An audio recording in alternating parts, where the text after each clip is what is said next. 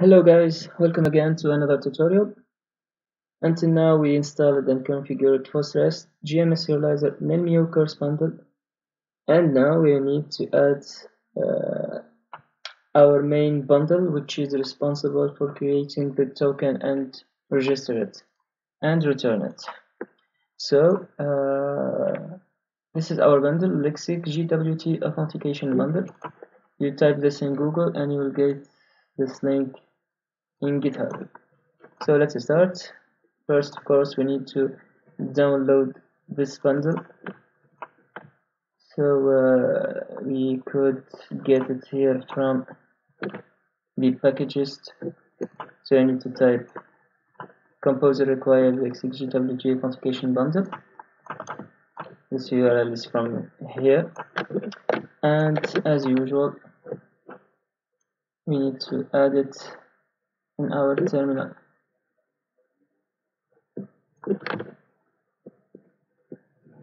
So this will download our bundle, then we will configure it and uh, use it in our project. After we, after a while, we will we have our bundle installed as usual in the bundle folder. So uh, yeah, that's it. That's it. So we will configure this bundle and activate it in the app kernel. I need to copy this and paste it here. After that, we're gonna make some changes in the uh, config. Also, we need to generate the SSH keys. Uh, we will do the, this uh, first. So, uh, we need to create the private and public .pem. Before that, we need to add OpenSSL to our window so that OpenSSL uh, will be recognized in the command windows as this. If you type it uh, without adding the OpenSSL, you will get a not recognized error. So you need to go to this link, you Google OpenSSL, and you get this OpenSSL for Windows, and then you go to Setup and download the setup.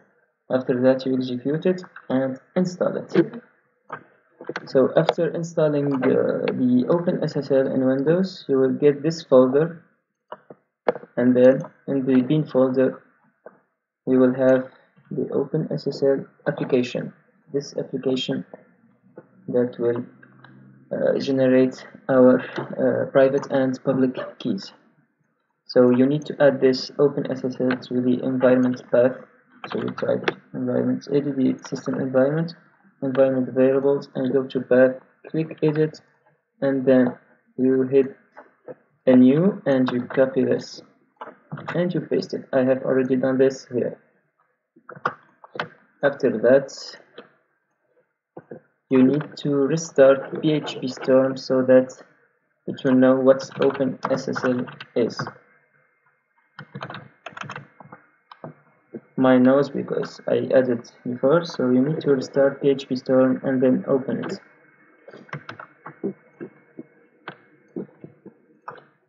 So let's uh, generate uh, the public and private plan. We'll generate it in the var folder here. We're gonna create a config and put the keys there. So we're gonna go to var make directory. Config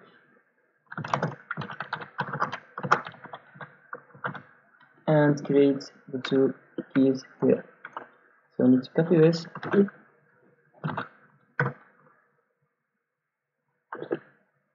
Ah I need to change the path you just we're gonna out this private PEM in this folder in this config var config folder so we hit enter it will generate for us the RSA private key.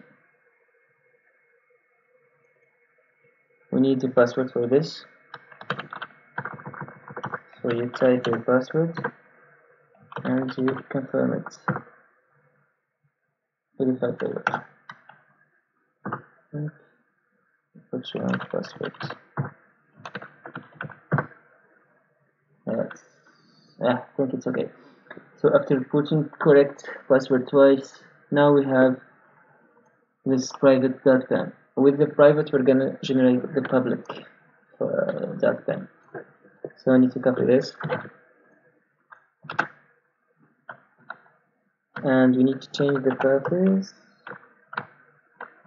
So as you can see, it uses the private dollar uh, in and output the public dot. Use the same password and throw the RSA key. So we have the public dot pem. Our uh, bundle will use those files to generate the token for us. So that's important also. So now we will configure uh, the, this bundle. So we need to add this in the config.yml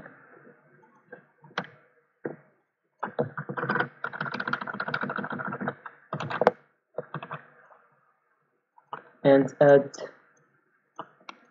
the uh, information that this bundle needs in the parameter that yeah. Copy this and post it here.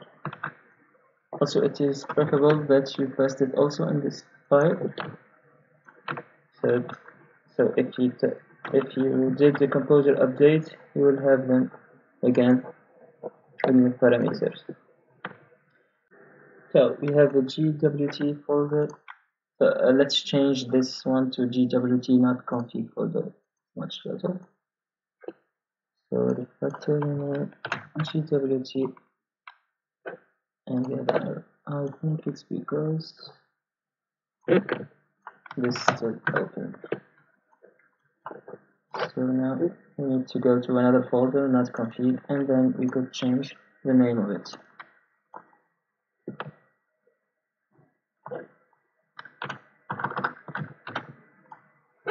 Yeah that's better. So you won't need to change those and then uh, the jwt key passphrase is the same password that you use to generate the private and the public.